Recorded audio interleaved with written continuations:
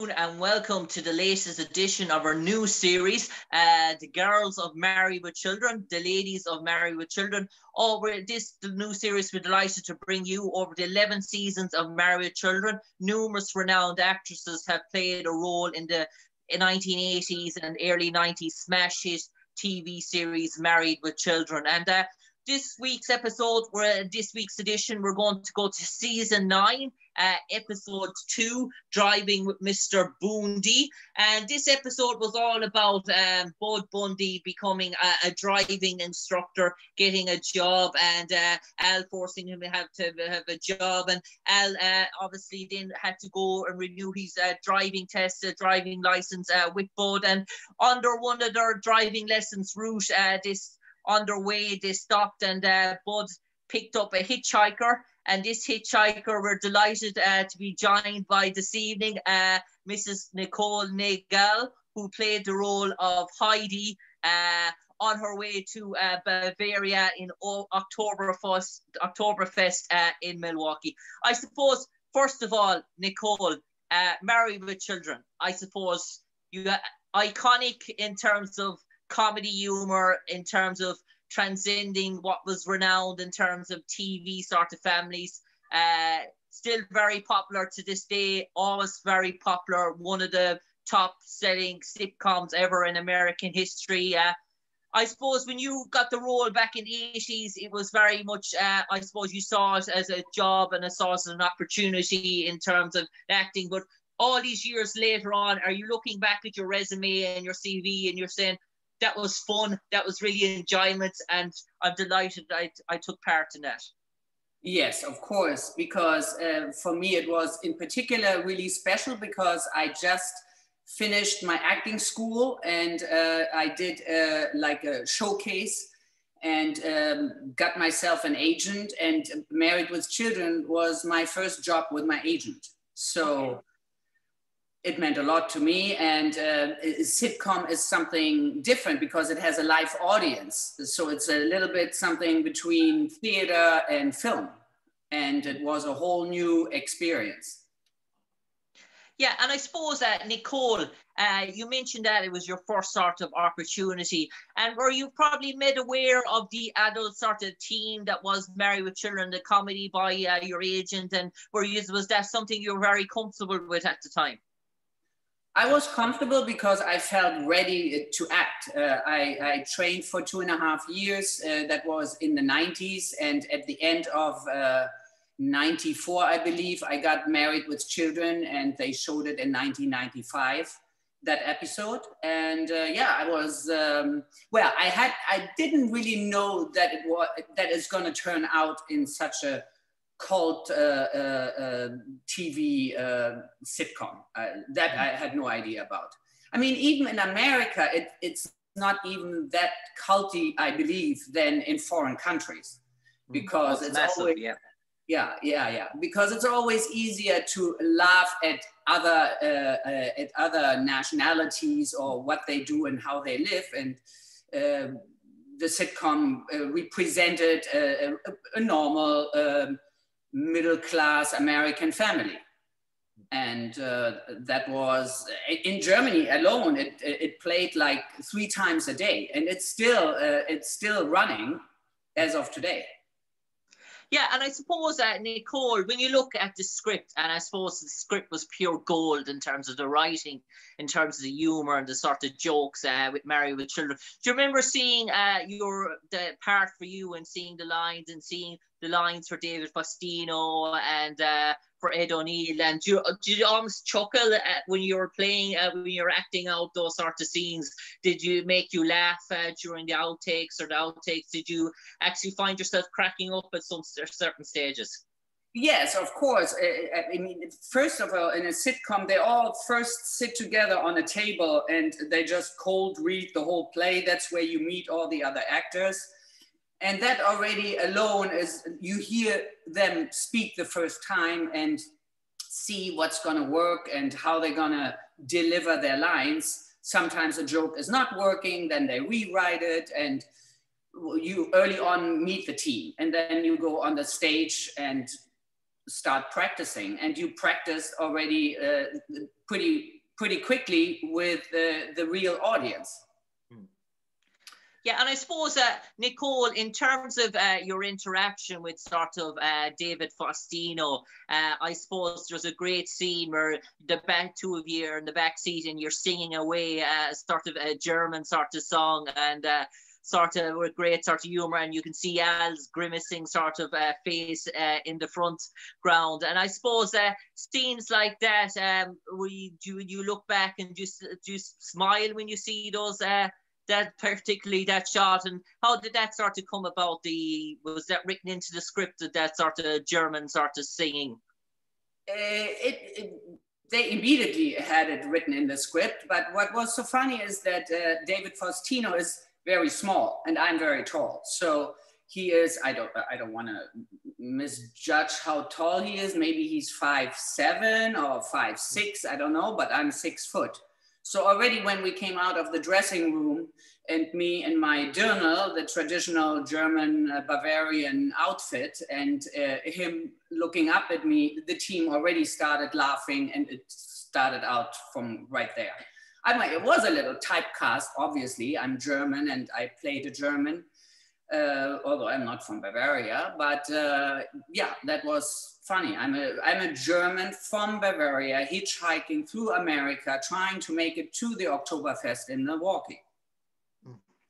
Yeah, and I suppose, uh, Nicole, uh, in terms of uh, Married with Children and uh, guest starring in that sort of role, in terms of coming onto a set there, well established Married with Children, you appeared in season nine, I suppose they had, I suppose, at that stage, nearly had a hundred sort of episodes uh, done. Did you find them very welcoming as a cast to you when oh, you came on yeah. board and and the interactions? Do you feel at home straight away interacting with uh, Katey Sagal and Ed O'Neill, probably the most two experienced actors on the set?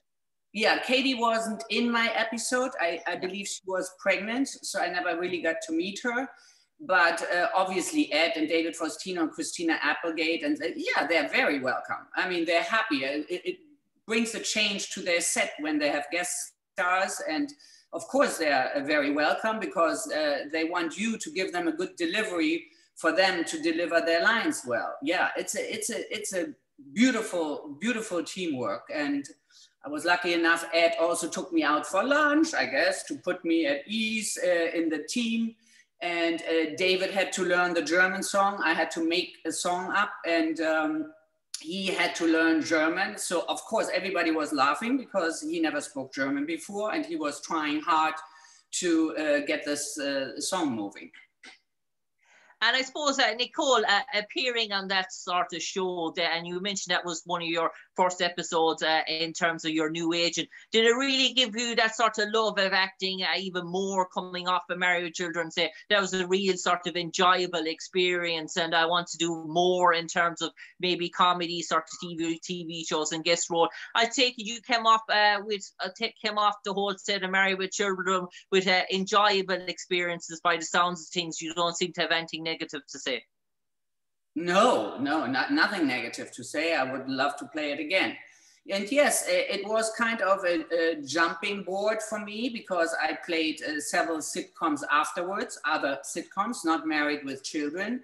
And uh, coming out of acting school and uh, quickly being in the union and having the first job uh, a month after, uh, I think a month after I graduated from school, yeah, it was a big deal big, big, big hmm. deal. And when then my phone, uh, my phone didn't stop ringing because the Germans uh, who know me uh, uh called in the middle of the night, cracking up like hysterically because uh, Married with Children was played in three times a, a day, and the last one is I think at night.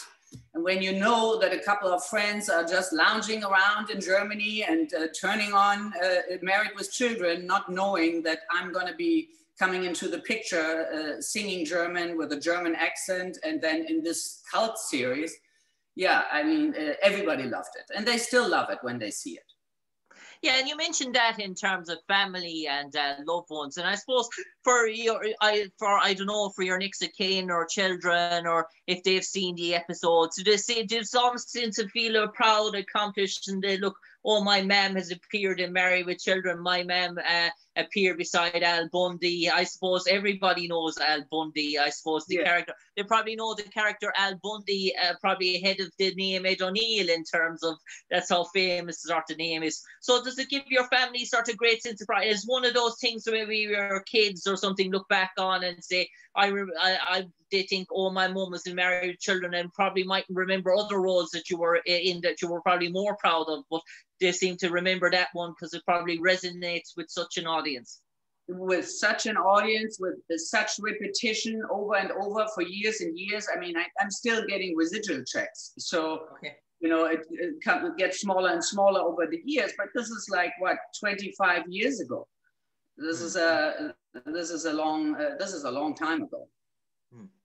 And I suppose that Nicole, one of the things about Married with Children was it was a sort of a TV sort of comedy show, and I suppose it was sort of geared for an audience, I suppose, a 16 sort of uh, plus, and I suppose there was great elements of sort of humor. I know it had a massive audience, especially between uh, young males. I say 18 to the 35 bracket was a huge sort of audience there, and I suppose it had the sort of um, I suppose the troubles of a, a, man and in the sense, but I suppose it also had that bit of uh, sex appeal as well to it in terms of the, all these uh, beautiful ladies as well uh, in terms of this sort of Al's, Al and um, Bud, I suppose, two sort of characters on the low.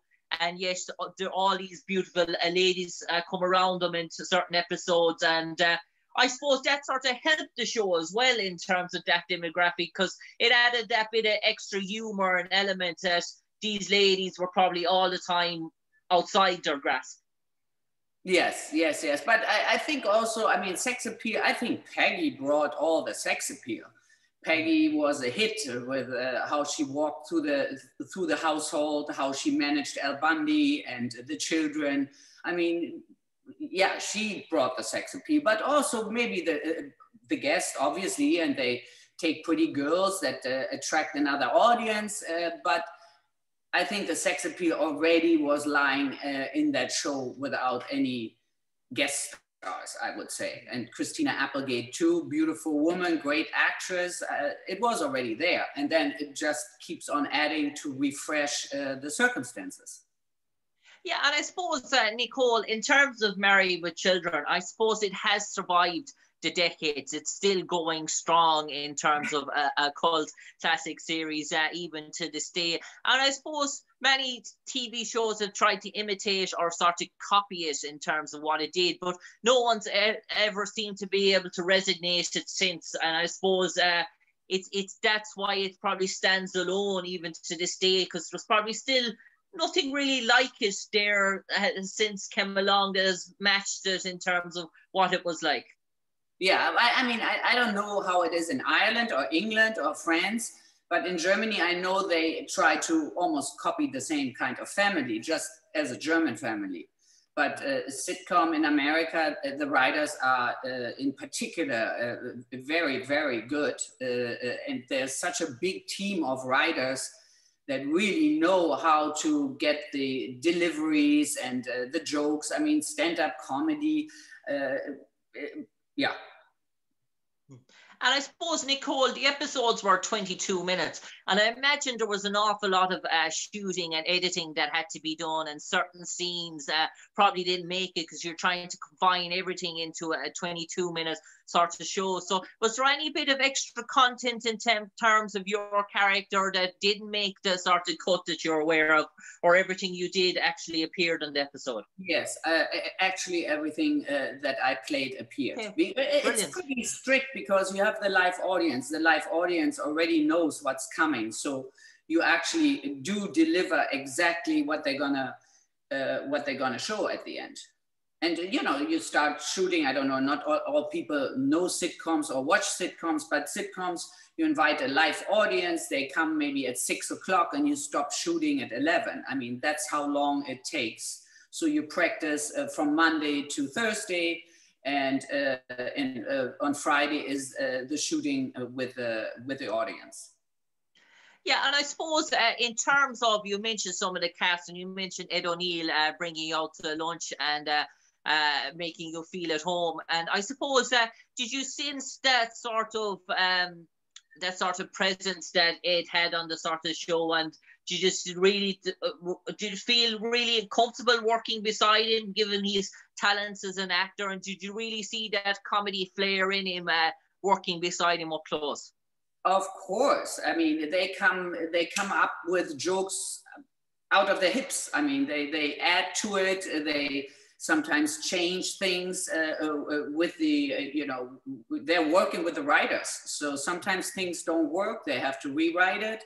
But Ed O'Neill is super professional. And as we know, he's uh, then in Modern Family and is uh, still big today. I see him at the supermarket. He, he goes to the same supermarket that's uh, great to know uh, that you're still in touch after all these years. Uh, Nicole, I suppose I'm going to ask you a question now, and I suppose it's going to rack your brains uh, maybe for an answer.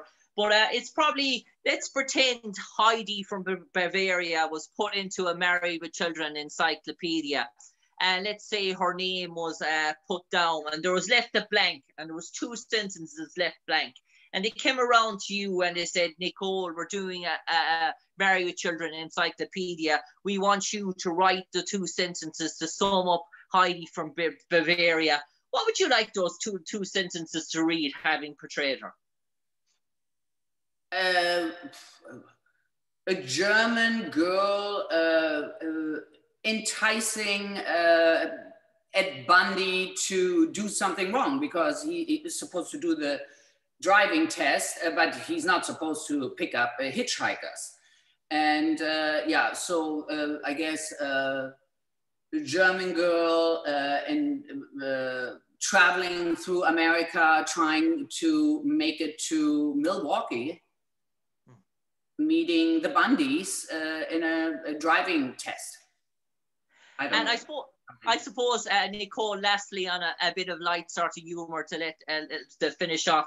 I suppose the costume, uh, in terms of that you got quipped out in, in, terms of married with children, were you allowed to keep that? And did you wear it at Halloween or Christmas parties down through the years and relive the Heidi sort of uh, character where your family and friends and you guest star and you appear at people's doors as, look, here's Heidi from Married with Children down the years. Do you do you still have that somewhere hidden away in a wardrobe?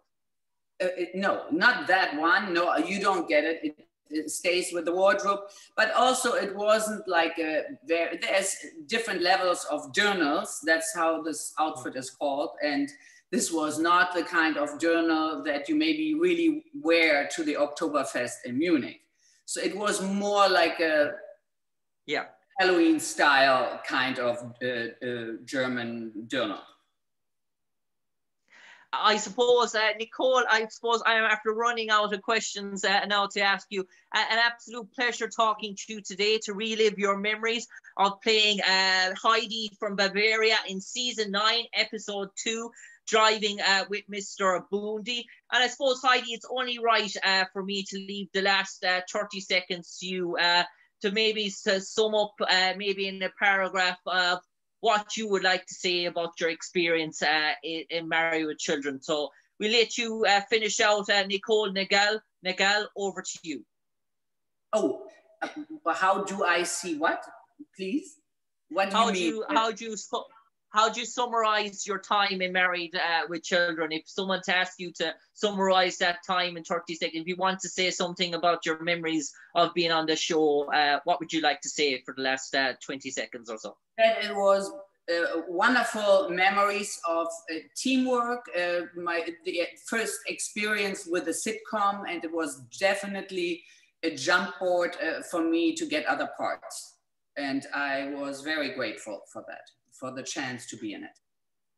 Uh, Nicole, an absolute pleasure. Uh, we wish you uh, all the best, you and your loved ones, uh, in this uh, troublesome times in the pandemic uh, sort of world. Hopefully, in 2021, we'll have the laugh and the humour of acting back on our screens, and we'll get to enjoy hopefully new TV shows on the trends of Married with Children. But for at the moment, we're all in front of our TV screens we're all binge watching, and no doubt an awful lot of us are watching uh, Married with Children, and uh, we're getting to see you play Heidi all over again. So we let everyone enjoy their TV viewing. We'll let you enjoy your TV viewing, uh, Nicole, uh, for the rest of the day. But for me, an absolute pleasure, Jim Conlan, talking to you. And we wish you all the best for a prosperous 2021. Take care, Nicole. Thank you so much for inviting me to your show. Thank you. All right. Bye.